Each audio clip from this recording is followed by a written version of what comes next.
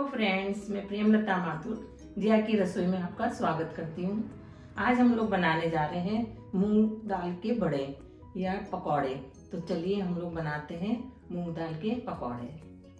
मूंग की दाल को हम लोगों ने तीन चार घंटे के लिए भिगो दिया था, या रात भर के लिए भी हम लोग इसको भिगो के रख सकते हैं, और अच्छे से धो के, और हम लोगों ने इसको अब पीसने के लिए तैयार कर लिया है, और अब इसको मिक्सी में डाल के हम लोग पीस लेंगे।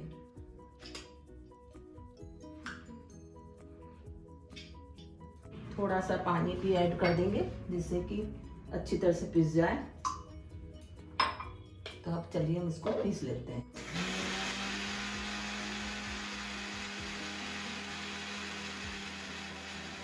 दाल हम लोगों ने पीस ली है। अब इसमें हम लोग मसाले ऐड करते हैं। तो चलिए सबसे पहले हम लोग स्वादा अनुसार नमक डाल देते हैं। और लाल मिर्ची डाल देते हैं स्वादानुसार। बहुत कम भी नहीं डालनी चाहिए कि चट, थोड़े चटपटे से होने चाहिए। और थोड़ा हींग डाल देते हैं। हींग से स्वाद भी अच्छा आता है और डाइजेशन के लिए भी अच्छी होती है। तो हींग डाल दी हम लोगों ने। उसके बाद ये साबुत धनिया हम लोगों ने थोड़ा दरदरा कर दिया था। ये भी अच्छा लगता है बड़ों में। तो ये डाल दिया हम लोगों ने। इसके बाद ये हरी हरी मिर्च काट के रखी है। ये हम स्वाद के अनुसार ऐड कर लेंगे। अदरक हम लोगों ने घिस के रखी हुई है साफ़ करके। ये अपने स्वाद के अनुसार डाल लेंगे। अब ये हरे प्याज हम लोगों ने धो के और साफ़ करके बारीक बारीक काट लिए थे। इससे बहुत अच्छा स्वाद आता है बड़ों में। और ये ऑप्शनल है, किसी को अगर प्याज नहीं पसंद है तो ना डालें। और ये सा, धनिया साफ़ करके रखा हुआ था ये और काट के रखा हुआ है ये हम लोग डाल देते हैं।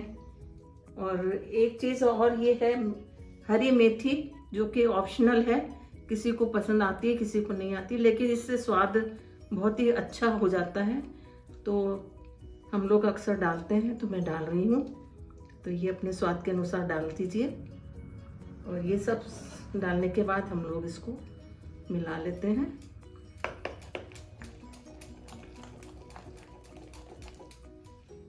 देखिए रंग भी कितना कलरफुल आ रहा है और मसाले हम लोग थोड़ा सा इसका मसाला चख लेंगे। अगर कोई आपको कम लगे तो आप और डाल सकते हैं। बस। तेल गरम हो चुका है और एक पकौड़ा डाल के हम देख लेते हैं कि सही गरम हुआ है या नहीं नहीं तो और गरम होने देते हैं। मेरे हिसाब से तो गर्म हो गया। बहुत तेज़ गर्म में डालेंगे। तो ऊपर से तो ये पक जाएँगे, लेकिन अंदर से कच्चे रह जाएँगे। इसलिए मध्यम आँच ही सही है। तो हम इसमें पकौड़े डालते हैं। और जिस साइज़ के आपको पसंद हो, किसी को बड़े बड़े पसंद होते हैं, किसी को छोटे पसंद होते हैं, मेरे को मैं मीडियम से बना रही हूँ। तो वो डाल दीजिए आप लोग। और धीरे आँच पे इसको पकने देंगे। तो अंदर तक भी सिक जाएँगे, कुरकुरे से भी हो जाएँगे।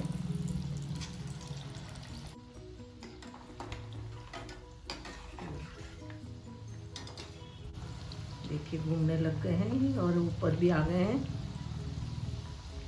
बहुत ज़्यादा दाल को कट्ठी नहीं रखना चाहिए, न बहुत पतली रखना चाहिए। बहुत कट्ठी रखेंगे तो बड़े अंदर से बहुत सख्त सख्त होंगे और खाने में मज़ा नहीं आएगा और बहुत ढीली होगी तो अंदर से भी कच्चे कच्चे रहने का डर रहेगा और बनने अच्छे से नहीं बनेंगे।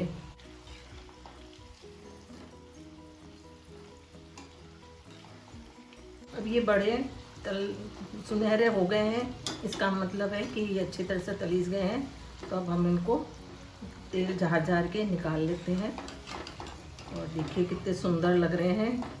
इसमें मेथी का और धनिया का जो भी डाला है उससे ग्रीन ग्रीन कलर भी अच्छा लग रहा है।